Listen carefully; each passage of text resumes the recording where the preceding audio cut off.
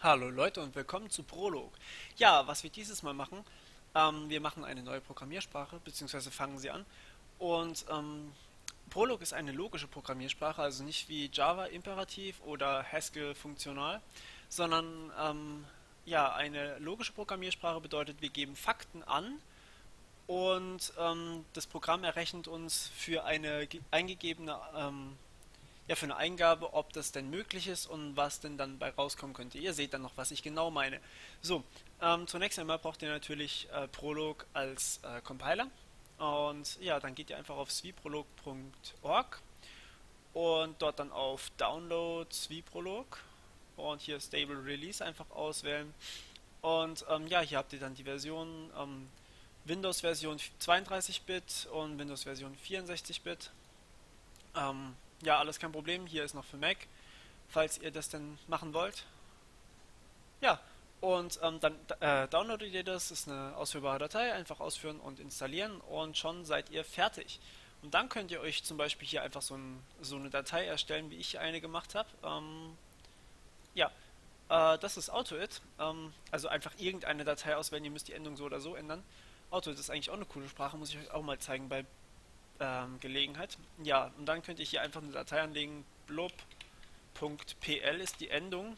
dann meckert er natürlich rum und schon habt ihr hier mit dieser hübschen Eule eine Prolog-Datei erstellt. So, und wenn ihr die dann ausführt, dann kommt das hier, das ist äh, quasi die Eingabeaufforderung davon.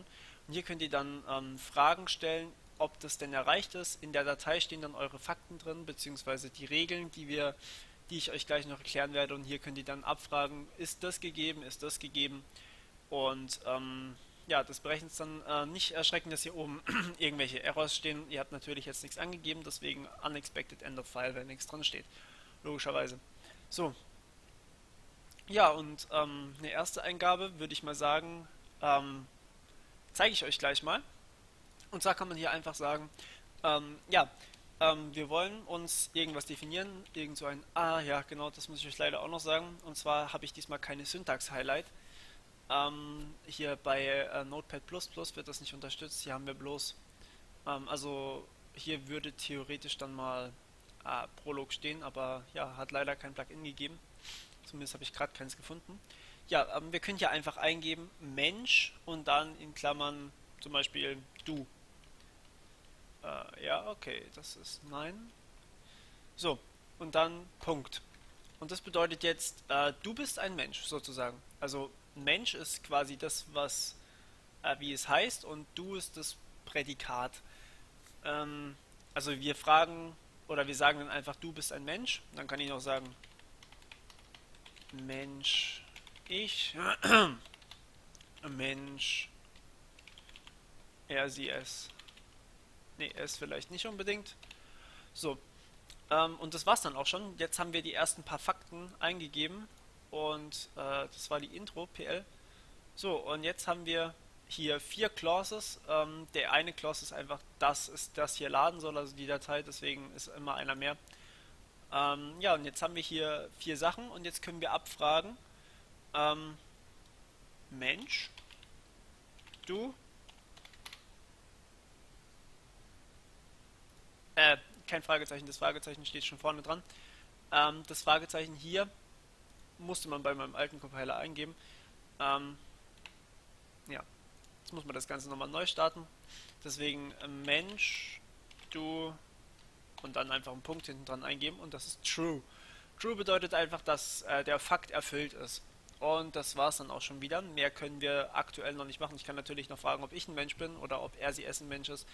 Aber das äh, sollte klar sein. So, jetzt kann man die Dinge auch schon kombinieren. Das ist jetzt nicht unbedingt schwierig. Ähm, zum Beispiel mit dem Prädikat, äh, oder wie auch immer man das nennt, liebt äh, ich du. Und hinten dran natürlich den Punkt nicht vergessen. Das bedeutet dann so viel wie ich liebe dich. Oder ja, wenn wir hier noch dich hinschreiben, dann wäre es sogar grammatikalisch korrekt. Ähm, so, wenn wir das jetzt, ähm, müssen wir neu machen. Wenn wir das hier jetzt laden, dann kommt hierbei raus, wenn ich jetzt sage, liebt äh, ich, du, so rum. Äh, dann kommt True raus. So, und jetzt zeige ich euch gerade noch den nächsten Trick, den wir schon machen können. Wir können hier nämlich Variablen einsetzen. ähm, zum Beispiel x und dann du. So, und jetzt kommt nicht mehr true raus, sondern x ist gleich ich. Das heißt, es schaut automatisch, also das Prolog, ich zeige euch gerade mal hier noch den Source Code, äh, dass ihr das ähm, nachvollziehen könnt. Es geht alle Regeln von oben nach unten durch. Also Mensch, du, Mensch, ich, Mensch, er, sie. Okay, davon ist keine ähm, meine Liebt Clause, nach der ich suche. Und dann suche, äh, finde ich hier dieses liebt. Ja gut, liebt war das, was ich gesucht habe. So, okay, hätte ich jetzt hier noch mehrere liebt, dann würde ich überall gucken, ähm, ob irgendwo hinten du steht und x könnte dann alles sein, was äh, vorne steht. Ich zeige euch das am Beispiel Mensch jetzt gerade nochmal. Also Mensch von x. Ups. Immer groß schreiben die Variablen, die ähm, also die Variablen, die sich verändern können, werden groß geschrieben und so Sachen wie du, ich, er, sie oder irgendwelche Namen, die schreibt man dann klein. So, also jetzt haben wir hier die Möglichkeit, x ist du, denn du bist ein Mensch, das ist die oberste hier, nicht vergessen, immer ganz oben anfangen. So, und wenn ich jetzt hier ein Semikolon eingebe, dann kommt das nächste, Mensch, ich. Wenn ich nochmal ein Semikolon eingebe, dann kommt x gleich sie. Also Mensch von sie ist auch true. Und danach sieht man hier so, wenn man ganz genau hinguckt, so einen kleinen Punkt. Und das bedeutet, dass man am Ende ist. Also danach ist quasi äh, nichts mehr ein Mensch. Außer du, ich und er, sie. So, ähm, wenn ich jetzt hier noch weitere äh, Leap-Clauses reinpacke, sowas wie ähm, ich äh, liebe PCs, sowas, ähm, dann lade ich das Ganze hier wieder und jetzt kann ich folgendes machen. Ich kann natürlich auch das x als Variable hinten hinschreiben. Was liebe ich dann alles? Dann kommt erstmal x gleich du und das war's dann auch schon wieder.